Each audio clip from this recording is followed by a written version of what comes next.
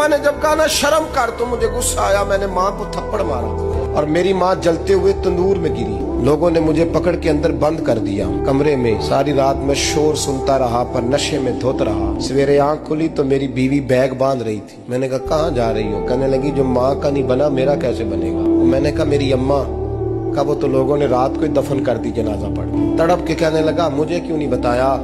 تو کہتے ہیں، لوگ کہنے لگے، تیری مرتی ہوئی ماں کہہ گئی تھی اسے میرا منہ نہ دیکھنے دینا۔ میرے جنازے کے قریب نہ آئے۔ حضرت مالک بن دینار فرماتے ہیں، جب اس نے یہ بات سنائی تو میں نے بھی اس کے منہ پہ تھپڑ مارا۔ میں نے کہا، تو اسی قابل ہے۔ کہتے ہیں، وہ رونے لگا۔ کہنے لگا، جب ماں کی انتقال کی خبر ملی تو میں نے کلاڑی لے کے وہ ہاتھ کاٹ دیا جس سے ماں کو مارا تھا۔ میں نے ساری جائیدادیں خیرات کر دی چوبیس سال ہو گئے، چوبیس سال ساری رات نماز پڑھتا ہوں۔ روزہ رکھتا ہوں، حج کرتا ہوں، اور ہر سال کوئی آ کے کہتا ہے، جا دوڑ، جا، تیرا کوئی نہیں قبول ہوا۔ حضور دعا کرے، مالک راضی ہو جائے۔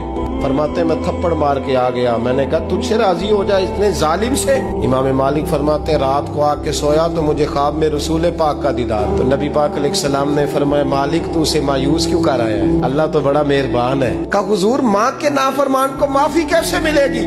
تو امام مالک فرمانے لگے، نبی کریم نے فرمایا جا اسے جا کے بتا دے۔ تجھے قیامت میں تیری ماں کی وجہ سے بخش